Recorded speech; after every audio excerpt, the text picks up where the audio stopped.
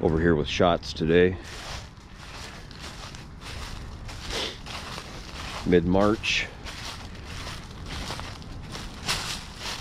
I was in the Caribbean and there was a big ass snowstorm and uh, my dude ended up with a big mess on his hands so we're just over here making some brush piles burning shit up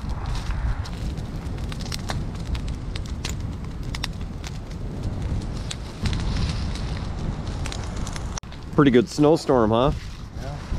Yeah, I'm looking at that one there, man. That's the next one that's gonna split off. That one's split there. that's deadly close to the house dude Well, that one's gonna fall. Is there? okay yeah That's an American elm.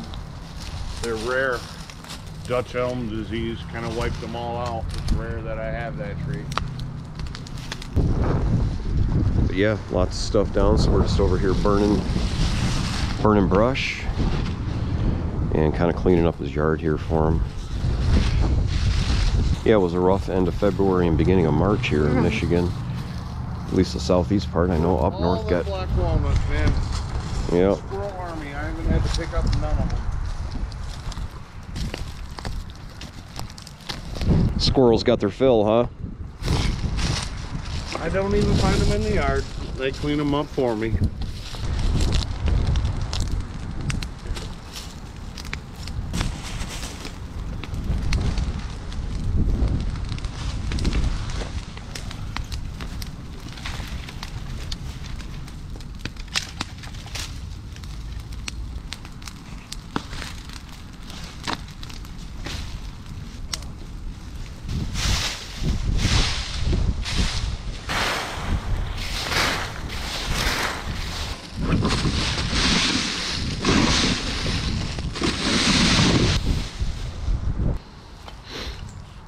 Right, so we got a lot of stuff cleaned up here at Eric's place. Got a nice fire going. The Outlander's another year older, Is that 2018? at 2020. Oh. So, yeah, I think this is the third season for this thing, and I think next season I'm going to need some tires on it. I changed the, the engine oil on it last spring. I know I probably should just do it again. And I changed the, well, I changed the transmission. Did you? Yeah. Okay. Last year I went through and greased all the Zerk fittings. I mean, I found every freaking Zerk fitting on this thing, so now I know where they're all at. I can get right to those again. Mine needs everything. Is going to need every fluid change and a water pump probably this year. It's been a good quad. It has. The old Arctic Kitty. When are you going to finally retire this thing? Oh, come on. It's got life in it. Needs some shot. maintenance, but it'll go. Come on, man. Come on, man. It's time to get a new quad. It still cleans up nice. Needs some work. Probably about It's going to need tires. She does run good, but just seems like you ought to get a new quad, man. You've been talking about it for a while. yeah. Prices go up every year. Well, that's another reason to get one this year. That it could be. What would you get? Polaris 650. No, they don't make 650. I'd have to go 850. Step up into the big boys. Big bore would be nice. I like the Can-Am that I bought. I, whether or not my next one will be a Can-Am or not, I don't know. Can-Am makes nice machines. It's definitely been a good machine. Really, the only thing that has happened to it is I've cracked a couple fenders, but that's ATV riding, really. Did you Yeah, say? we need to invest in one of those plastic stitchers. I'll try to link the video that that dude. Did you watch that video? No, you did you send me that? I did send that to you. Basically, a plastic welder that you can uh, insert metal stitches on the backside, and it keeps the whole thing together. But really, the repair that I did on that fender is holding up pretty good with the epoxy and everything. So, but yeah, this old beast is pretty much. It's been everywhere. We've taken this. Well, we've taken both of these. Michigan-wise. Michigan, the UP. Yep, faux shizzle. But yeah, now this year we're talking about going to northern Minnesota. That's why I think Eric ought to invest in a new quad just to make sure that nothing happens. He's been talking about it for a long time. He wants to step into one of the big boys and the prices keep going up every year. And that's another reason just to get it out of the way now.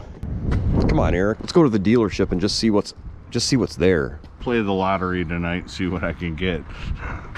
Come on. Let's just check them out, you know? I mean, you never know what you might find. You might find a hell of a deal on on the exact quad that you want. Go to Polaris, check out the strays, see if I can bring home one. You really want that Polaris. Those sportsmen's are nice, man. Come on, man. Let's go to the dealership. Spend all my money. You can't take it with you. Yeah. I am Check 'em turning 50. I guess I need one of those midlife crisis toys. That's a damn good idea. Holy shit. Shots, you finally went and did it. I guess that didn't take very much talking into, did it? Not at all. So it ended up, we went to the dealership and I'll be damned if they didn't have the exact one Eric was looking for. Tell us about this thing. 2023 Sportsman 850 Ultimate Trail Edition. Very nice, man. 23 Sportsman 850. This thing is badass looking. It got a fat ass. Yeah, it's got a nice, it's got a nice money maker back here. Sits nice and wide. You just want to walk up and just uh, uh, uh, smack it and throw fucking dollar bills at it, Eric. Yeah, every time you make that payment, just smack it on the ass. Uh, uh, uh, throw that money at it. Come on, shots. The rear bumper protector. That's nice. Uh, yeah, I like the I like the coating that they put on it. It's like a almost like a rhino lining. It's a textured uh, textured powder coating. The rack system seems to be pretty beefy. How comfortable would you say the seat is? Very comfortable. Yeah, it's a nice looking machine. All LED light.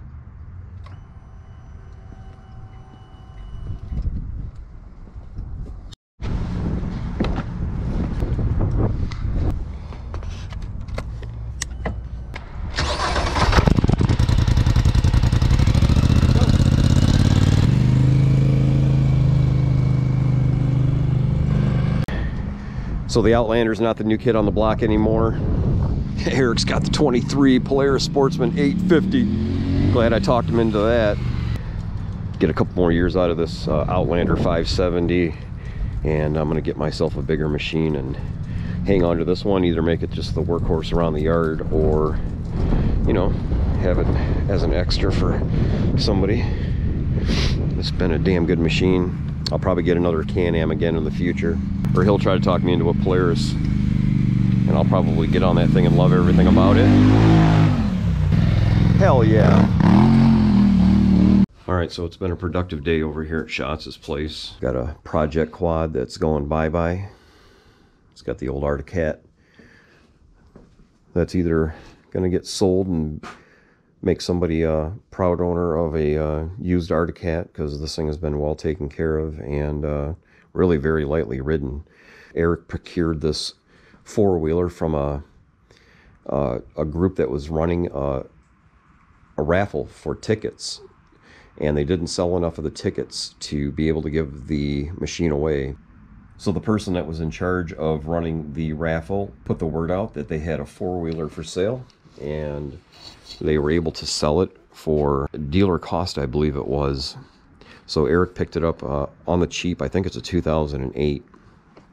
And for really the beginning of its life, first five or six years, he barely rode it. It was up at his uncle's place, which is quite a long ways from here, up in the New Baltimore area, and uh, was just kind of ridden around the property over to his uncle's place. So really wasn't until I got the 2020 Outlander a couple years ago that we gave Shots a call and said, hey, instead of doing our rustic camping trip that we always do uh, and wishing we had four-wheelers if i bought a four-wheeler would we have a way to get them up north? Because he already had his Arctic Cat. So we ended up borrowing his brother's trailer which over the years turned into eric finally purchasing a uh, the trailer that he wanted. This is built uh, custom built length.